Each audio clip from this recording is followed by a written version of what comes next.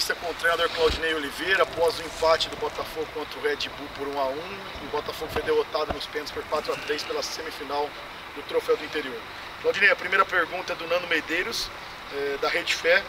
Claudinei, a não classificação não pode de maneira nenhuma pagar o excelente trabalho realizado pelo clube nesta pós-pandemia. Parabéns a você e ao grupo. O Botafogo pode buscar algo mais no brasileiro? Em primeiro lugar, obrigado aí pelo, pelo reconhecimento, né? Eu acho que elogio ao grupo, ao grupo é importante, merecido, os atletas realmente têm se doado bastante. Acho que o time criou uma identidade, criou uma cara, né? a gente tem uma forma de jogar já bem definida, né? E temos tido boas atuações no meu entendimento. Acho que realmente é, até surpreendeu positivamente, né? Pelo tempo que eles estavam parados, a entrega deles, a condição física que eles voltaram, mostra que eles se cuidaram e, e se dedicaram. Além dos treinos online que a gente passava, eles estavam fazendo alguma coisa a mais e enfim. Com relação à Série B, eu acho que assim, se a gente fizer o que a gente fez nesses jogos, né, nesse retorno aí, se a gente apresentar essa entrega, essa organização todos os jogos, vai ser difícil a gente ser derrotado, né? A gente uma hora vai perder, mas é difícil. Porque eles estão ocupando bem os espaços, estão entendendo a parte tática do que a gente está passando para eles e estão ganhando confiança para fazer alguma coisa a mais, que é acertar os passes, as transições e, e quando tem a posse da bola, buscar o gol adversário. Aqui agora a pergunta do Marcos Andressa. Ele também te parabeniza pela recuperação de muitos jogadores nesta reta final do Campeonato Paulista. E a pergunta dele é agora. Agora é Série B pela frente. Esse time conseguiu adquirir confiança para este início de competição. Espera contar com um reforço já para a estreia? Ah, eu acho que adquiriu, né? O que eu comentei agora. Eu acho que a gente, né, quem, quem vê o time quando eu cheguei, eu, eu né, comentei até depois da vitória da Inter de Limeira, aí jogamos com a Ferroviária, eu falei que eu estava mais preocupado depois do jogo da Inter de Limeira do que na derrota para a Ferroviária, que a gente começou a, evoluir.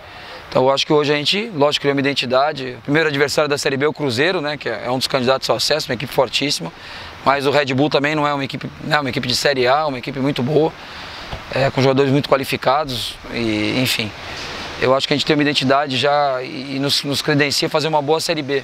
Né, os reforços a gente está trabalhando, principalmente segunda-feira já, já, já, esteja chegando o primeiro reforço aí, né, a diretoria está tá se mobilizando e outros vão vir aí dentro daquilo, daquilo que a gente falou, daquela, daquela coerência nas contratações, ter cuidado para não contratar muita gente que às vezes não vai ajudar. A gente vai trazer jogadores com perfil que venha para agregar e, e venha com a entrega que esses atletas estão tendo com a mesma, a mesma disposição e a mesma vontade. Claudinei, agora a pergunta do Jorge Vinícius, da TV Tati. O Matheus Anjos é o homem da bola parada do time. Não daria para segurar ele até o fim do jogo, para ter um jogador no clima do jogo com um bom aproveitamento da bola parada para a decisão dos pênaltis? É, na realidade, Jorge, a gente estava perdendo um pouco o meio campo, né? Eles começaram a fazer trocas e botaram jogadores descansados no meio, trocaram o meio campo, era o Matheus Jesus, Ricardo Hiller. E a gente estava perdendo um pouco o meio, né? Se você for ver, a, a, o Calabres já estava na beira do campo para entrar antes da gente sofrer o gol. A gente sentiu que estava... É, eles colocaram aí jogadores muito qualificados, que eram os titulares até da equipe, e eles estavam descansados. Então a gente precisava recuperar a força do meio. Talvez se eu segurasse o Matheus, o jogo não fosse para os pênaltis, hipoteticamente, pelo, pelo volume que eles estavam criando no meio. A gente botou um jogador mais descansado, justamente para diminuir essa, essa vantagem física que eles estavam no final do jogo. Okay. Agora a pergunta é do Wilson Rocha, do W Sports. Claudinei, antes de tudo, parabéns pelo seu trabalho no Paulistão. O Campeonato Brasileiro é longo e você vai precisar de elenco maior. Quatro contratações não é um número pouco para começar uma competição do nível de Série B? Ah, eu não acho. Eu acho que é o, é o, número que a gente conversou com a direção do clube, é o número que a gente achou que é, é viável, né? É viável financeiramente para o clube. Né? E em termos de, de que os jogadores estão apresentando, acho que a gente teve, como foi falado anteriormente, evolução, o grupo ganhou confiança.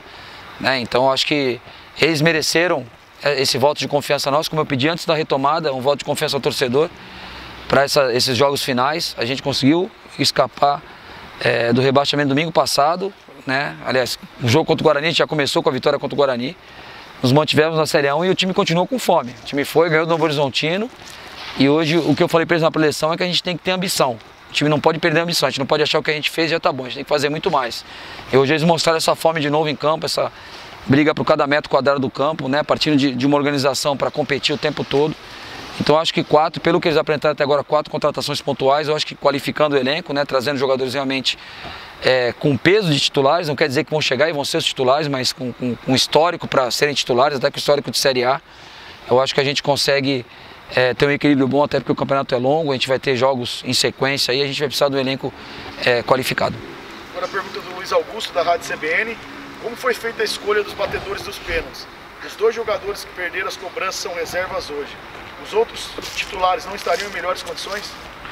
A escolha foi feita em cima do aproveitamento, né? Nós teremos penalidades máximas na véspera do jogo no Horizontino, treinamos ontem novamente, né? Foi feito em cima do aproveitamento.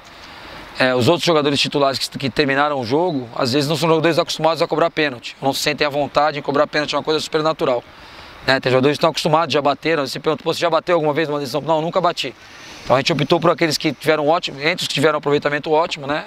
O, a, decisão entre um e outro com o mesmo aproveitamento foi a questão de já estar acostumado, já ter passado por isso. Eu acho que perder pênalti, cara, a gente viu o Zico perder, a gente viu o Baggio perder em 94, né? Que era o craque da Itália, um dos melhores jogadores do mundo. Isso aí vai ter sempre, cara. Para alguém ganhar, alguém tem que perder. Outro dia bateram 30 e poucos pênaltis lá no jogo do Guarani Ituano, mas alguma hora alguém errou para alguém ganhar. Então a gente.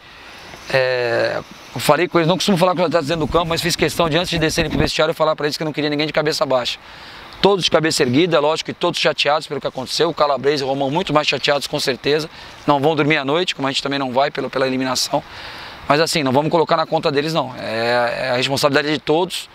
E, e, é hora de um sentir a dor do outro, um, um ajudar o companheiro que, que errou, mas assim, é uma coisa natural, mérito do goleiro também que acertou o canto, pegou a cobrança, né? Se fosse o contrário, o Dali tivesse defendido, hoje o Dali era herói, ninguém estava falando mal do, do, dos cobradores do Red Bull, nosso goleiro era herói, então Mérito do Cleiton, pegou as penalidades e, enfim, felicidade do Calabrese e do, e do Romão, mas a gente escolheu os que a gente achava que estavam, em termos de aproveitamento e de, de confiança, que estavam mais prontos.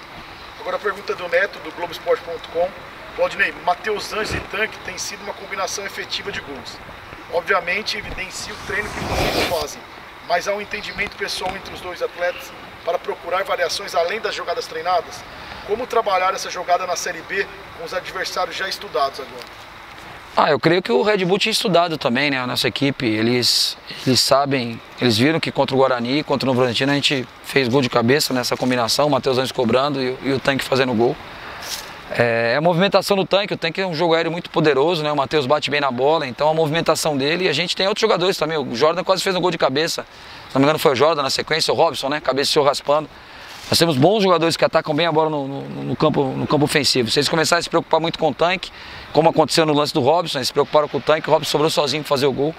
Então a gente vai trabalhando as variações. É, a, essa é, esse é o papel do treinador, não é só chegar lá e colocar a bola parada e, e treinar um pouquinho. Bola. A gente tem que treinar, orientar, mas é lógico que tem o mérito deles. Eles têm liberdade também para sentir em algum momento, se o tanque sentir que o primeiro pau está mais desocupado, ele chegar no Matheus e falar: Matheus, vou, vou atacar o primeiro pau.